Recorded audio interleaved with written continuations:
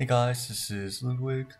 Uh, let's start with an update on the guild mission first. So the final mission has been finally revealed, and then yeah, it's it's this. So uh, my advice is just to try to clear Master Plus Two within 90 seconds, and hopefully that's the top 20. All right, and then here's a sneak peek for the banner. So they do have the highest DPS uh, among all wind units, and then a little more power creep. We'll get into more details in a second.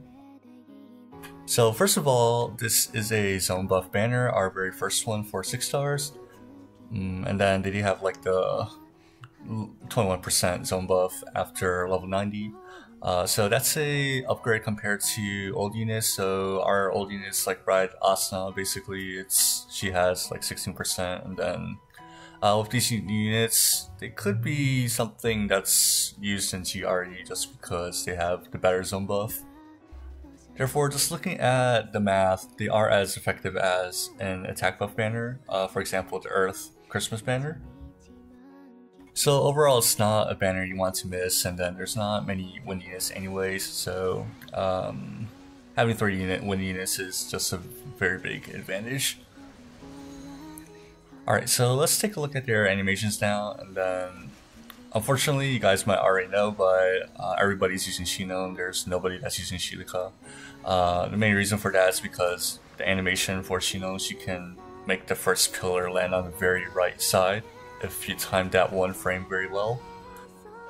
Another reason is because Shilika, she drops hits upon fake switch, so originally she has 14 hits and then 4 of her last hits drop if you fake switch, and then that's probably a lot of damage there that's gone.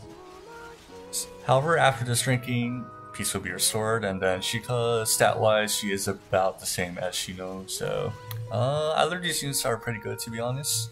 Uh, if you're not like a huge, huge, huge whale, it doesn't really matter, so you can just use either Shino or Shika, it's about the same.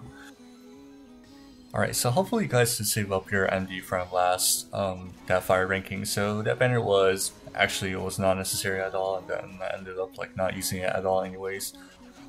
The spanner, however, will probably be used every subsequent wind ranking, and they also go very well with Sorcelina, so yeah, good luck on your pulls. Alright, and this ranking boss, uh, Makoto, she gets stunned, so we have to use advanced animation skip again to make the best use of those 2.5 seconds during her stun. Rat Sounds released this very nice table, and then you can follow his Twitter to uh, find this table. And so there's two combinations here that create the advanced animation skip, the ABA-CA. So number one, we start off with an ABA, and then we need to do basically a 5 star to 6 star to 5 star combination so that there's a very long duration difference between the 6 star and 5 star. After that, it's possible to chain a C, and then if you tap A right after C comes out, A will override C, well, as a bug.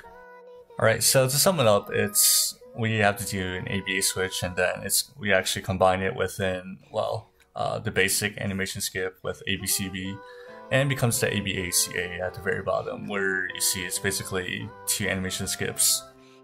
And so here, as to point out, but both B and C must have SS3 on switch, and A doesn't need SS3 on switch, uh, although it does look weird, but the fifth and well, the fifth SS3 and ABCA will always come out as an SS3. Alright, so hopefully everybody learned their fake switches. Uh, I do have a guide in the comments or in the description. There is special setup for the ABA switch with animation skip. And finally, yeah, so just like a plan I actually did help Rat Sounds uh, fix his graph earlier, so... so there was a little bit of a contribution from me as well.